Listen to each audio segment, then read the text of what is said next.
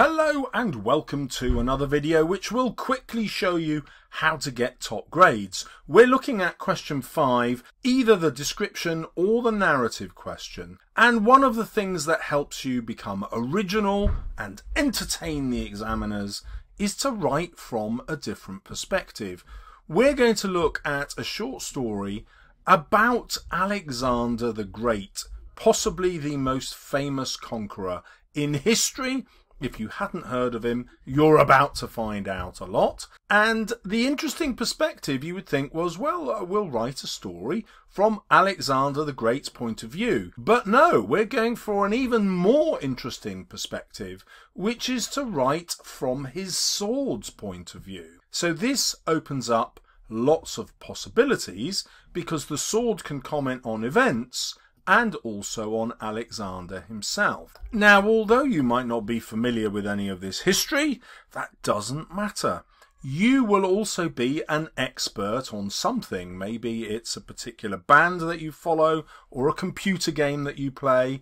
There'll be something about that band or that computer game that you can use as your inanimate object that will be like the sword in order to give you a perspective to write about. So I have a story here sent in by a viewer who wants to know if this technique has worked. Let's find out. I am a vessel that has witnessed the godly powers of time bring destruction and death to the mightiest of empires and the greatest of kings. I, the great sword of Alexander, forged in the fiery furnaces of Hephaestus, protected with the king of kings on his conquest. I, the weapon of Alexander, slayed the satrap of Bactrian and sliced the Gordian knot. So you can see how our viewer has created a realistic character in the voice of this sword. The repetition of I gives us the self-importance, I, the great sword, emphasizes it, and the historical detail we don't have to know, it's just there to emphasize how important Alexander and the sword was to events in history. Now, the other fantastic advantage of this is the examiner knows they will never read another story which begins in this way. This will be utterly unique, and obviously that will completely engage them and start the examiner thinking, I've got to give this a top grade, don't I? And then they'll read on to confirm that grade. Let's carry on. Yet I now suffocate behind the glass cage of a museum whose name I do not know, tragically mislabelled as the sword of a common Persian general. My prince is now beneath layers of dirt, and my blade is now rested and dull. I was not ignorant of blood and flesh, and I shall recount the glory days of my prince, so that his deeds would not be lost in silence and swept away by the merciless hands of time. I'm not going to show you all the many techniques that this student uses, but I'm going to focus on the most important one here, which is contrast. The contrast between now and the past, the contrast between my prince and the Persian general, the contrast between being mislabeled and attributed to the wrong person, and the words of truth that the sword is going to deliver to us now as he recounts the glory days of the prince. This contrast gives the writing life and rhythm, and as you know from my videos, contrast is the king of good narrative or good description writing. These deeds I'm going to relate are of paramount importance and must not be left unattested and forgotten, so that my inquiry may become extinguished in the obscurity of silence. Nevertheless, I fear that tongues of envy will claim my accounts of the deeds of my prince to be falsehoods and propaganda, but I assure you,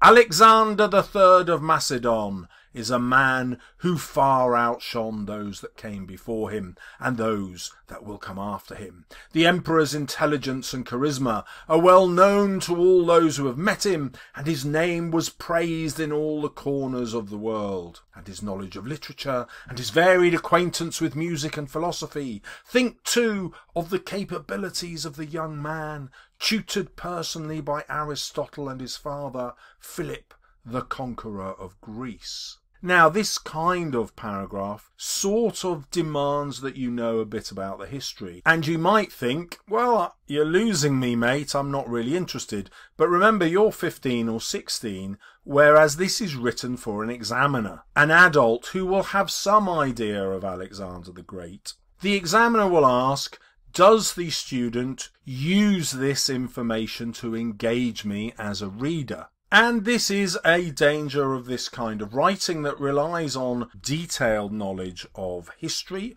or the specific context of your sport or computer game or musical band, whatever it is you're writing about. You have to choose details which don't just interest you, but will interest the reader. So this would lose slightly in terms of the engagement. However, in addition to using contrast, notice how the student has planned a massive show-off sentence, which will show their control of punctuation and grammar. Because remember, there are 16 marks available for that out of 40. That's a huge chunk, and he is nailing those marks even if the engagement isn't quite there. Let's carry on. But alas, King Philip was assassinated, and in his twentieth year, Alexander claimed the Macedonian throne, killing his rivals and quashing the rebellions in an ingenious move. Before long, he declared his animosity against the Persians to avenge his Greek ancestors. Of such a warlike temper was the boy. He overpowered the massive Persian army. His phalanx tore through their ranks while he would lead his companion cavalry to flank his enemies. Again, this isn't quite story in the sense that there are lots of connected events. However, look at the vocabulary that he's using because he understands the history. The great advantage of being able to use moments in history is that the vocabulary will always be fascinating. Here he studied warfare and so we have these words like phalanx and these tactics like flanking. Now, in his email to me, this student reveals where they have honed this skill with language. It's not just having the historical knowledge, but knowing how to craft the sentences with it. And so he says, I have decided to incorporate the style of Anna Komnene, someone who I've never read, an influential Byzantine princess and historian. Pretty niche, eh?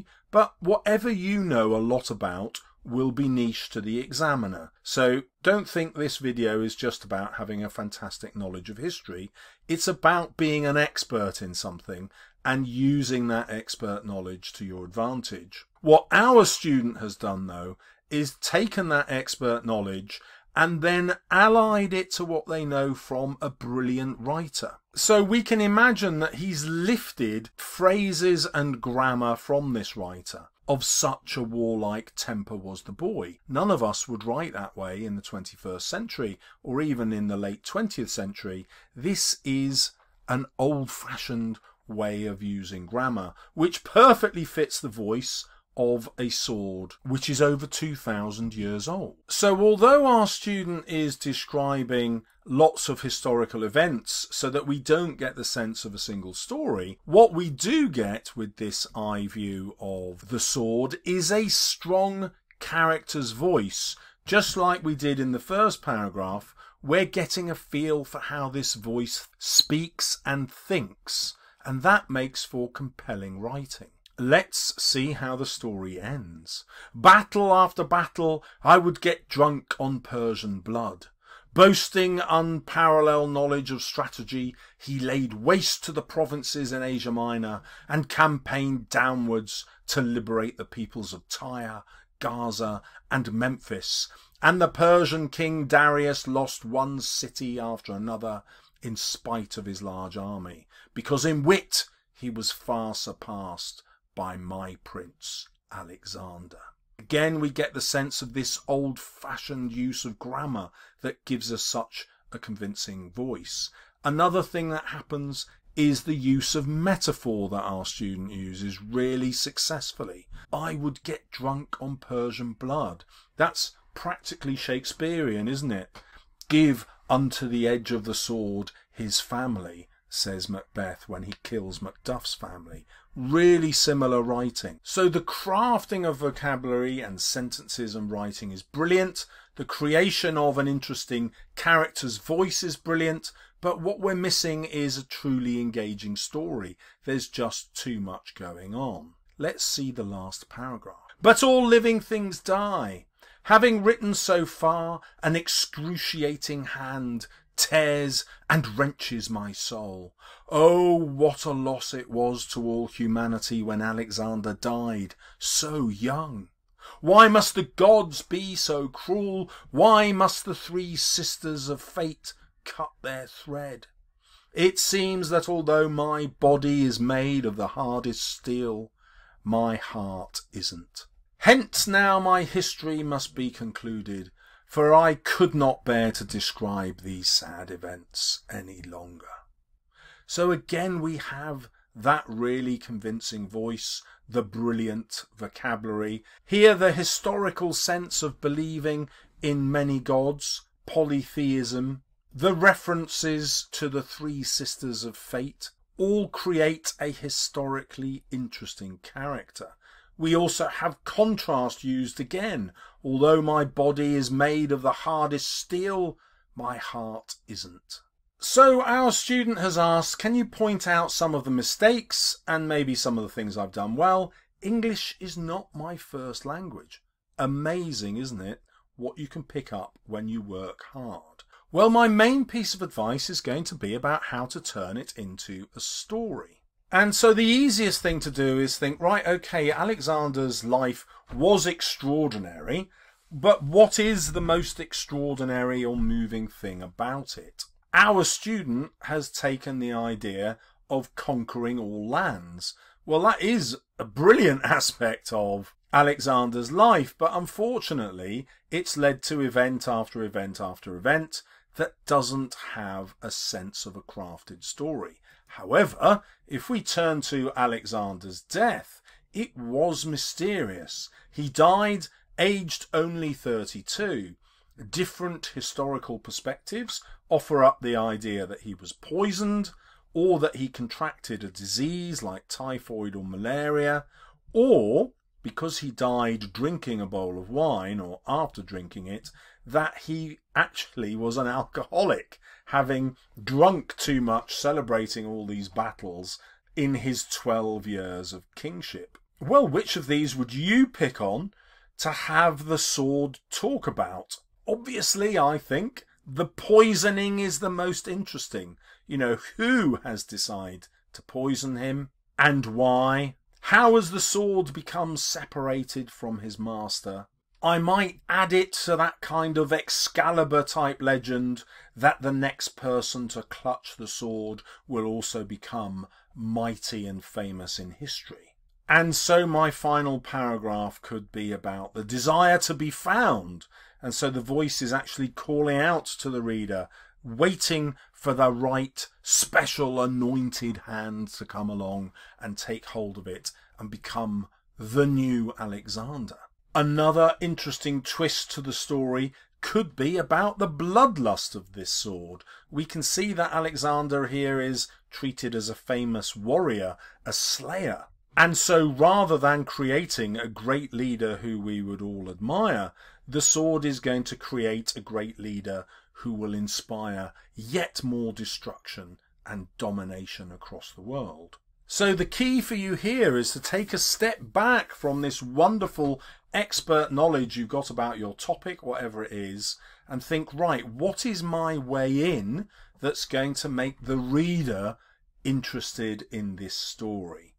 Now, the easiest way to do that is to look at the endings in that story. So if it's your chosen band, you could choose the moment when the band splits up. If it's a sporting figure, you could pick a moment of failure when they miss the crucial score in the game or the team are relegated. Or if it's something like a computer game, you might contrast victory, for example, in an international tournament that makes you thousands of pounds compared to all those years of education you've missed because you were playing the game so that we might flash forward 20 years to find you disappointed and poor because of your lack of education, or you could spin it the other way. You've moved to South Korea to become a full time professional playing Fortnite and have achieved some kind of high status in a foreign land.